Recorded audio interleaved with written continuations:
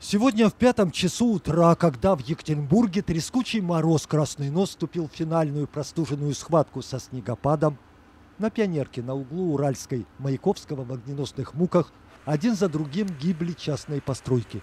Банька, за ней большой бревенчатый дом, мойка и автосервис с шиномонтажкой придачу. Из-за ветра пламя с ненасытностью проголодавшегося великана пожирало одно строение за другим. А мороз в перемешку со снегопадом не позволял огнеборцам оперативно приступить к битве с огнем. Просто чудо, что в этой трескучей морозной и пламенной одномоментной кутюрьме никто из людей не пострадал. Но если в самом деле существует ад кромешный, то он был в это утро здесь, на Пионерке, по соседству с бизнес-центром «Основа». Под утро основательно многофункциональное строение, похожее на пузатую книжку, распахнутую посередине, из-за черного дыма погрузилось во тьму как и часть улицы Маяковского. В довершении всех бед электрикам на всякий пожарный пришлось обесточить часть соседней улочки. В это трудно поверить, но пламя за полчаса или около того с 80 квадратных метров разрослось до полутысячи испепеленных квадратов.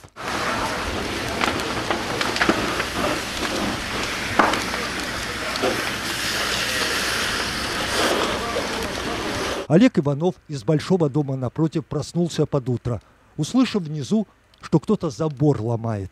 Как признался очевидец в комментариях городскому порталу Е1, он вышел на балкон, а там такое. Олег признался, что частенько машину свою мыл на той самой под утро сгоревшей автомойке. И хозяина автосервиса он хорошо знал. Хороший мужик, жалко его, признался очевидец. В это время огнеборцы, сразу подняв ранг пожара до 1 бис, озябшими руками пытались извлечь воду из перемерзших гидрантов. В этот момент пламя уже подбиралось к автосервису, и чтобы взять его в плотное водное кольцо, пожарным понадобилось не меньше двух часов, а точнее сказать больше двух.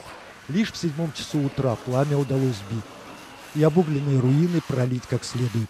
Кстати, как ни странно, но в огне во дворе здесь за оградой уцелели березовые дровишки, которые хозяин для баньки прок запас. Сейчас дрова те вроде бы и ни к чему.